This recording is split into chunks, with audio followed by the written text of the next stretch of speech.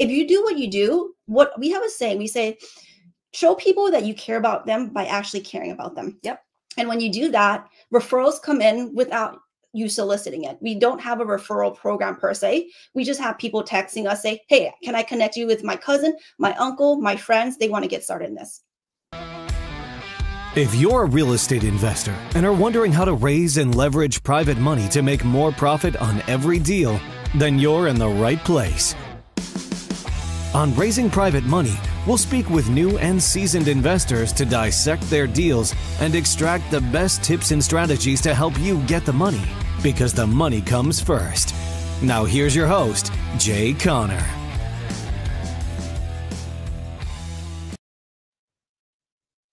Welcome to another amazing episode of Raising Private Money. I'm Jay Conner, your host, also known as the Private Money Authority. This is the podcast where we talk about how to raise private money for your real estate deals without ever having to ask for money. I also have amazing guests that join me here on the show where I interview them and talk about how they go about raising private money for their real estate deals. Well, today I've got another amazing guest. In fact, this is a sister duo team, if you will, and they are obsessed with all things that are financial freedom. They're obsessed with passive income. They're obsessed with apartment investing and also syndication. Going about this, not using any of their own money, but raising private money.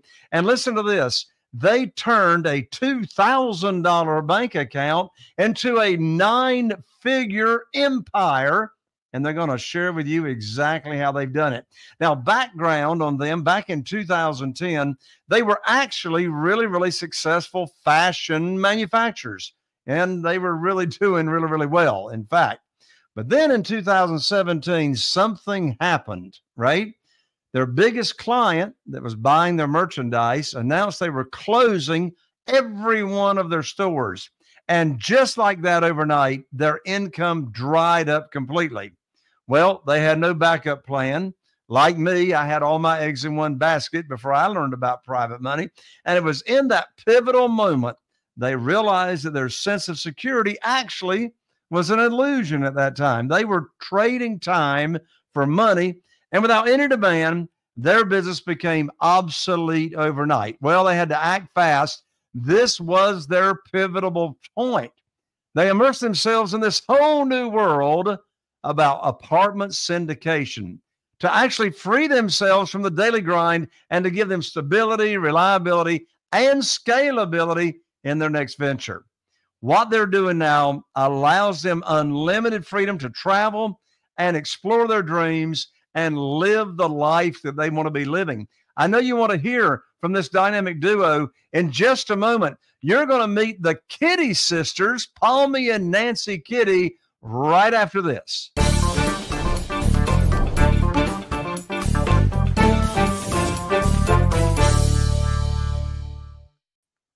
The Kitti sisters, oh my lands, Palmy and Nancy, welcome to the show. I'm so excited to have you. Well, thanks so much, Dave. We're really excited to be here. Yep.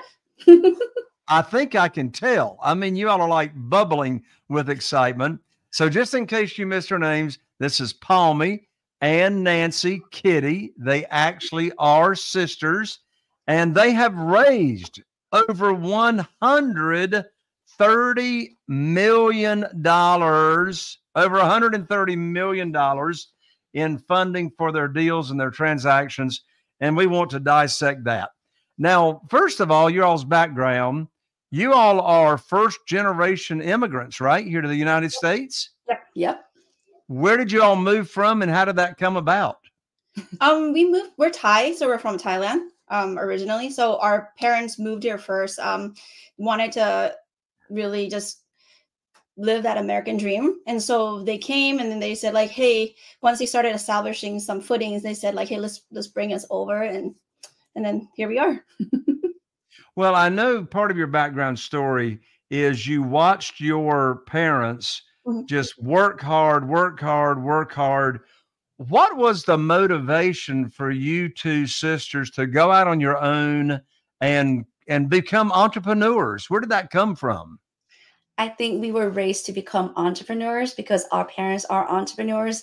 But the difference is we understand that, hey, if we continue to trade a lot of our time for a little money, it's not sustainable. And we see that with our parents, where, you know, they sacrifice so much, like, you know, uh, the time that they have with us so that they can be our provider. But at the end, if they don't learn how to grow their income in addition to that active income and grow like passive income or even learn how to use other people's money to grow their income they will have to work until they die but obviously the the happy ending is that they didn't have to do that right they they have us so the other yeah. thing the other thing that we saw differently the reason why we wanted to do our own thing was because we realized that while they were successful business owners in their own right not having you know the english background coming to a brand new country i think what they've accomplished is really amazing. The the problem with the way they were doing things was that it was it was all eggs in one basket. And the other part is like it was all based on their efforts. The minute that they couldn't do it or their client shifted similar to our story at the beginning is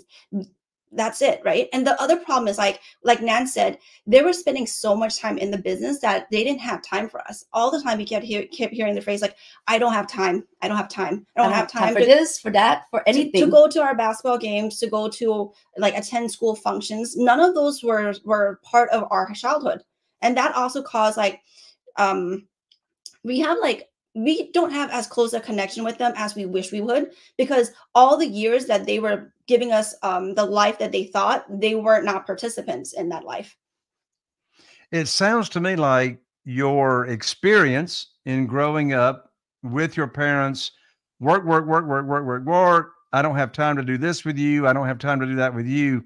It sounds like that motivated you to to create a different experience right definitely. Yeah and that's the because we we know that this story isn't unique to us that a lot of people experience the same kind of problem because their parents felt like uh, first and foremost when you come to a new country the, the, the reason they chose to come because they want to have provide a better life for their family and so that was their main focus. Um anything else was just luxury that they didn't we couldn't we couldn't have. Um so we actually thought that we were doing the right thing when we were in the fashion business but we actually ended up falling into that same trap because we didn't have a ability to separate our income from time. Mm-hmm. And so, like you said at the beginning, so eloquently, like it just went like, you know, we lost it all. So you started as entrepreneurs in the fashion industry.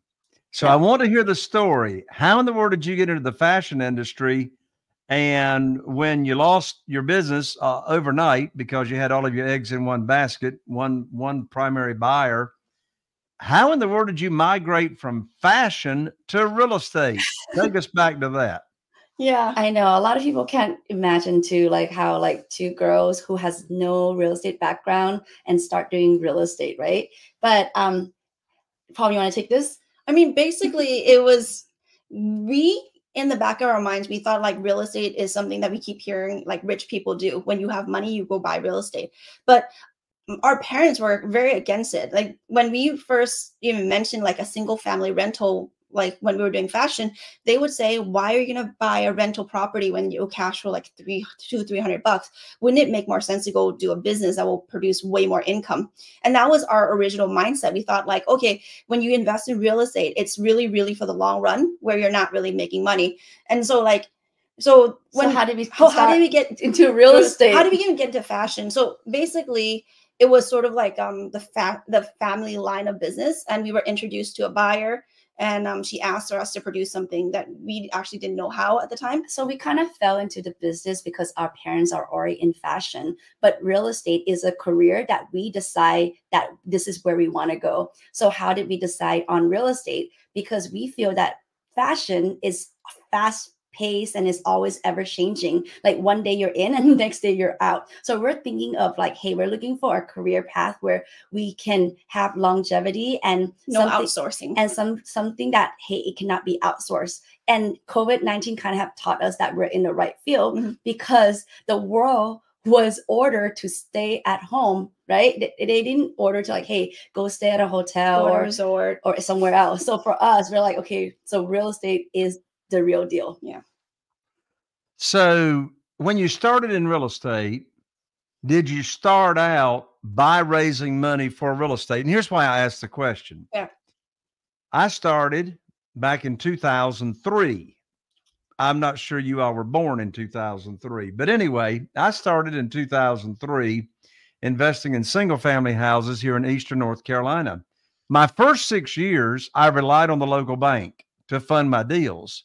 And then in 2009, everything fell apart. I lost my lines of credit at the bank. I had to find a better and quicker way to fund my deals, hence private money. And that's when I started raising private money. And I've used private money ever since 2009 to fund my real estate deals. So, how about you all? You all are in apartments, syndications, you know, raising money for apartments.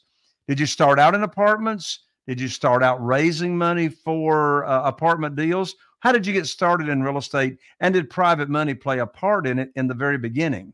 Yes. So great question, Jay. So basically, um, when we had to shut down our fashion career, we kind of think among ourselves, like, what's our next move? And then we somehow stumble on like um, like a conference about real estate, and that's how we kind of got into real estate. But it wasn't always apartment. It was it started off as single family flipping and we start doing some kind of like some renovation some flipping and it was making great active income so, but but still it didn't answer our question of like hey how to create another source of income which is also passive income yeah and jay like a funny story like wow today we can confidently say that we're very good at raising money when we first started out with flipping houses we were terrible at it and we were actually petrified to ask people for money because we thought we were asking them for, for money. money. so we didn't at very beginning first couple of deals we actually try to bootleg it ourselves which we live in los angeles and home prices in la even that back then was very high.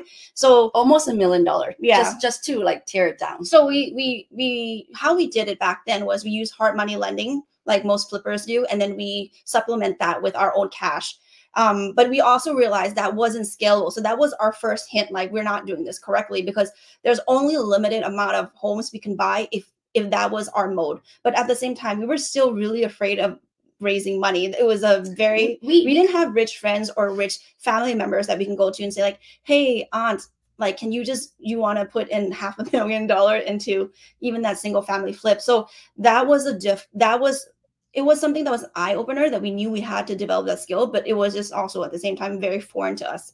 So that's how we that's how we got started in real estate as active um, making income from this was flipping houses. We did about nine houses um, in a well, couple uh, years. yeah along the along the way like we got introduced into multifamily because there are people who are now like us apartment syndicator who's like hey i have this opportunity. Would you like to become like our passive investor? Mm-hmm. and we're like okay tell us more. And then all the benefit outweigh all like any questions we have about it. And then when we first invest our like in our first deal we got this huge tax saving like um benefit and we're like oh my god this is real. This is something where i can just you know file it and like it goes it it um it offset my income right? It's like our income. So we're like okay we want more. Yeah so that's like our first little bit of like even for ourselves to be like oh, someone else uses our money to invest in large apartments. I love it. I love it. So what are some really, really important lessons you've learned when you started raising private money that you don't do it that way anymore? It's like, oh, I, I shouldn't do that. I shouldn't do that. So, in other words, what are some of the common mistakes that you see real estate investors when they're brand new to raising private money? What are those mistakes? What are the lessons learned? And how should they go about it? Yeah, I think the first thing that we learn ourselves um, is you have to have the right mindset. That what we what we said earlier we used to think that we were asking people for money. In fact you're never in if you have an opportunity an investment opportunity that actually will make them a lot of money passively you're never asking them for money. In fact you're giving them an opportunity that they otherwise wouldn't have so that they can actually earn money while they're doing their work, doing their business, living their, their, life, or their money is just sitting idle at the bank, not making you know that high of interest. Right. So so that was the first lesson that we learned. Is like number one, we're not we're we're never begging, we're never asking, we're giving them an opportunity. That mindset shift was the biggest thing for us. The second one is at the very beginning when we were raising money, our first multifamily deal, we raised three plus million dollars. Um, it was really difficult the reason was difficult is you know the there's a common saying in real estate you have to find the deal find the money. But we weren't finding the money at the beginning. We were just trying to get deals. And then the minute that those two things collided and it actually became real we were Shocked. we were in trouble because we're like even oh, though we we knew that even though we wanted that deal and even though we know that um it we need to do the funding but we're like we just wanted the deal. We didn't work on the no, money we at didn't all. add we didn't add people to our investor list. We didn't start cultivating relationships. We didn't have the system like you know any strategy. We were Yeah. just like duct tape piecemealing everything together and you know just brute force and just trying to get so it done. So anyone who's getting in started in real estate right now i would we would definitely recommend that you start right now if you're serious about getting into real estate really understand that you need to start building your investor list today you don't wait till you have a deal to start you start today Oh, my lands, Kitti Sisters. I am so happy to have you on this show because you all go about it exactly the way I go about it. For goodness sakes, you know what drives me crazy? Just to go along with what you're saying. This drives me stupid crazy. I know y'all have heard it. I know y'all have heard it a hundred times plus. I'm getting ready to say it. You already know what I'm getting ready to say. And it drives me crazy these gurus that get on stage and the platform and they'll say, Oh, just get the deal under contract. The money will show up. Mm. like, And I want to go, where is the money going to show up? Is it just going to, like, you know, rain out of clouds? you know, I know you all can relate to this. Desperation has got a smell to it. Mm. Desperation's got a smell to it. The worst time in the world to be raising private money and capital is when you need it for a deal, right? I mean, you know, I just don't want to go putting a deal in a contract, whether it's an apartment, a single family house, it don't matter. And I don't have a clue where the money's coming from. Mm. And you know, that's that. And, and you know, you all are like maybe one of two other guests I've had out of over 600 guests that have got the same philosophy that I do, and that is this is not about asking, begging, chasing, selling, persuading. It's all about leading with a servant's heart. You know, Carol Joy, my wife, and I, we've got 47 private lenders right now, 47 individuals that are funding our deals, loaning us money on our deals. And you know what? Not one of them had ever heard of private money. None, they've never heard of self directed IRAs and how they can actually use their retirement funds. Over half of them are using their retirement funds that they can transfer over to a self directed IRA company and then invest with us, and their returns are tax deferred or tax free. And so I am so happy to have you on the show because, you know, you said it already. People ask me all the time, Jay, how do you get started? What's the, how do I get started in raising private money? And you said it already, Kitti Sisters. You got to own the real estate between your ears before you can actually own any real estate. And part of owning that real estate is we're not asking, begging, chasing, persuading, or selling. We're actually offering that opportunity, creating opportunity. You know, you know, when I was borrowing money from the bank, I had to go get on my hands and knees and put my hand underneath my chin and say, please fund my deal and do applications and raise my skirt up so the bank could see my personal financial assets and see all my personal information, you know. But in this world of private money, there are no financial uh, financial statements. There's no credit scores. Uh, in fact, in this world of single family houses, I always bring home a big check when I buy uh, using private money without not ever having to even take my own down payment. So y'all have raised over 130 million dollars in private money. What are your favorite ways to raise private money and to get the word out?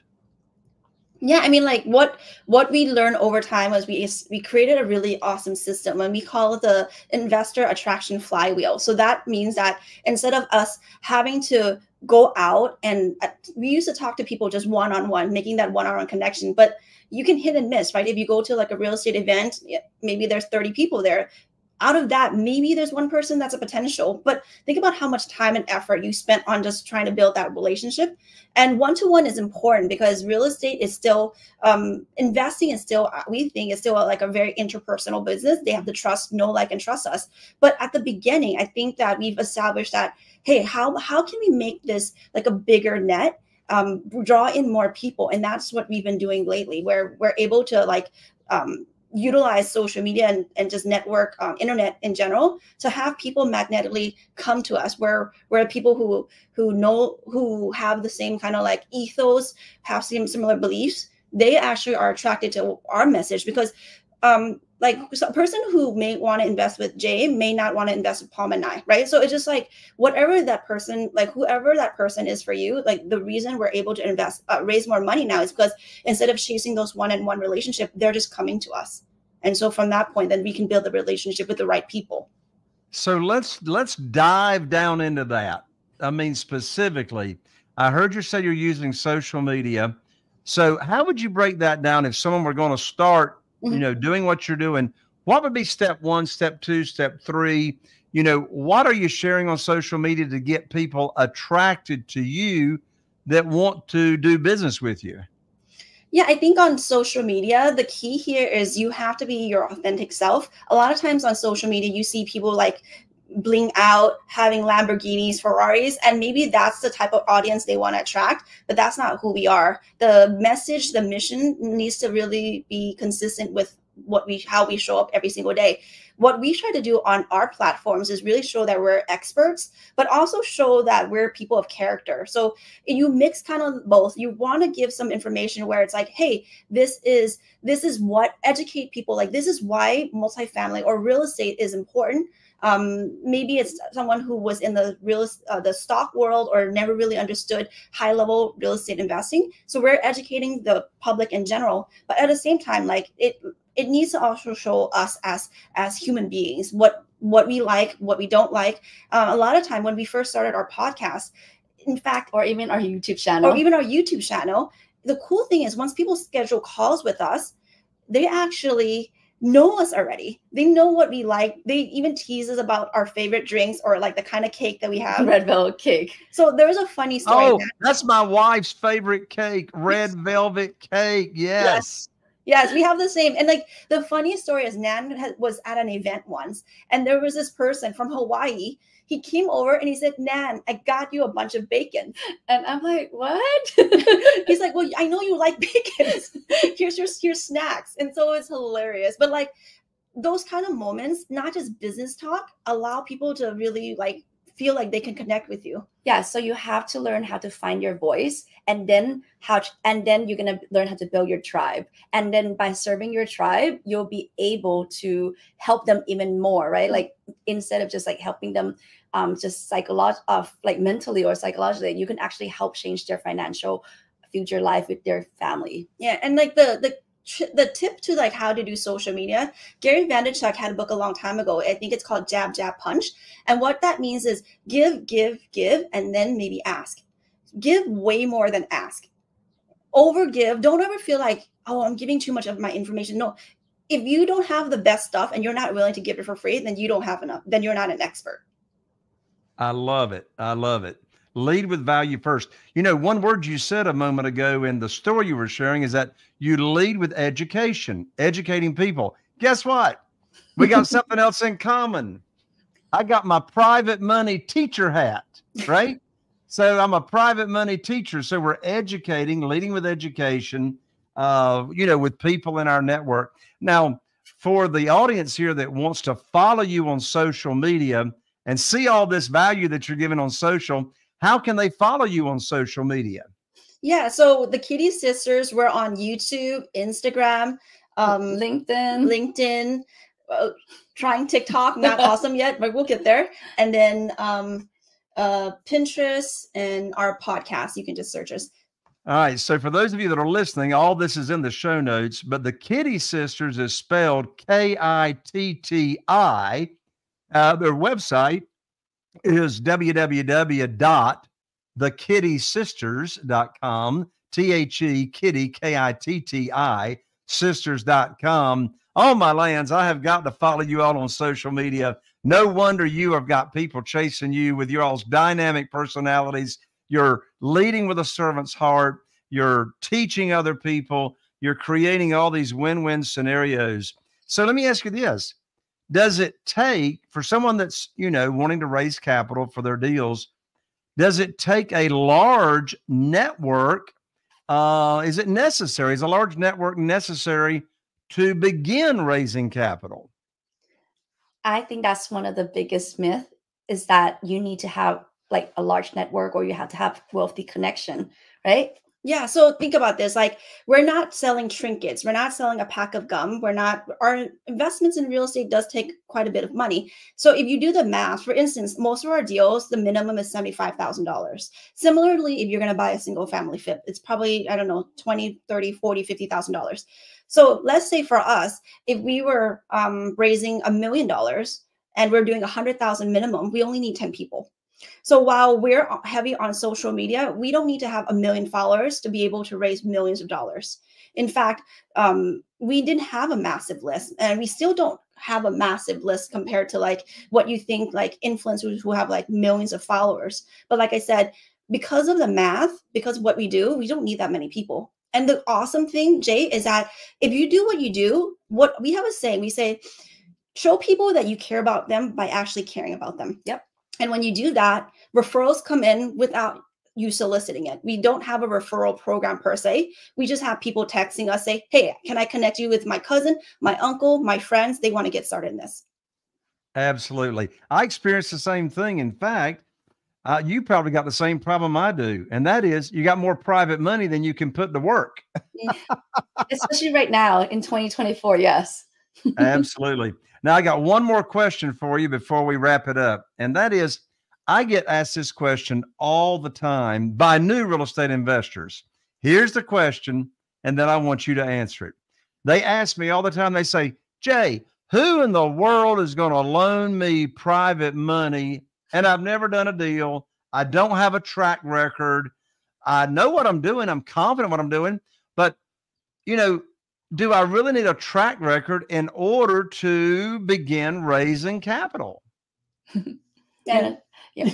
Well, our answer is no. And why? We are the like the the proof that you don't need to have a track record to raise your money. Like our first deal, like Palm said earlier, we raised $3.9 million. And of course, like we didn't have like years of experience of apartment investing. But what we say is like, hey, even though we're new, but our team aren't new, right? Like our team is um like our attorneys aren't new, our pro- property manager aren't new, our construction, lenders, lawyers. So real estate is a really team sport. We can never do this by ourselves. Yep.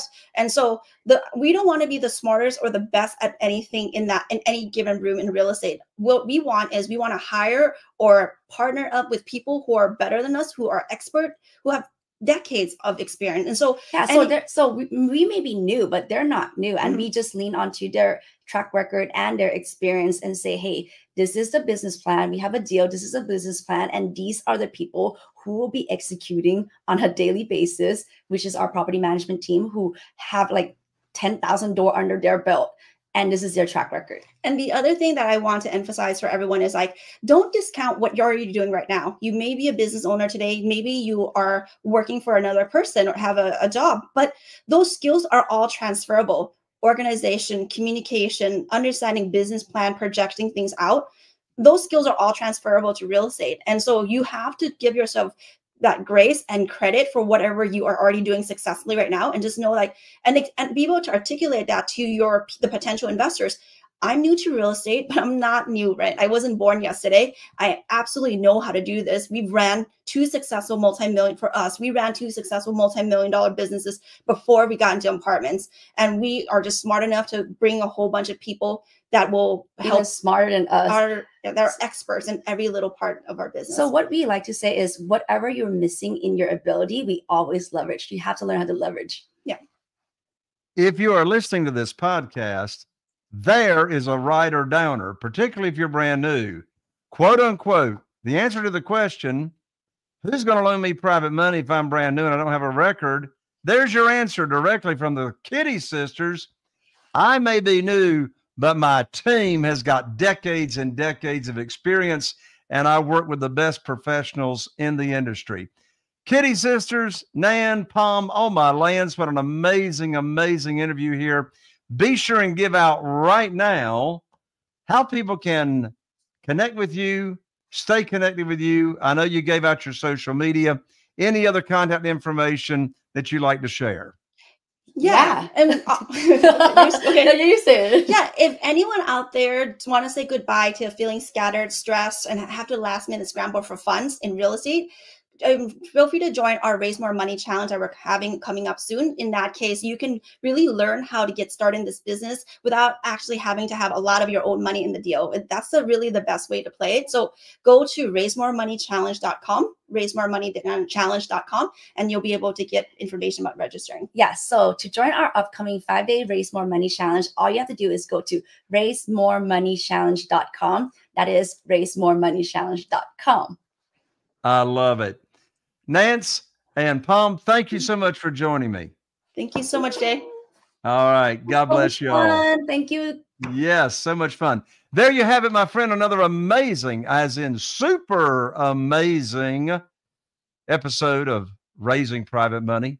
I'm Jay Conner, your host, also known as the Private Money Authority. I appreciate you showing up, and I look forward to seeing you right here on the next episode of Raising Private Money. Are you feeling inspired by the knowledge you gained in this episode? Then head over to jconner.com slash money guide. That's J-C-O-N-N-E-R dot com slash money guide and download your free guide that shares seven reasons why private money will skyrocket your real estate investing business right now. Again, that's jconner.com slash money guide to get your free guide. We'll see you next time on Raising Private Money with Jay Conner.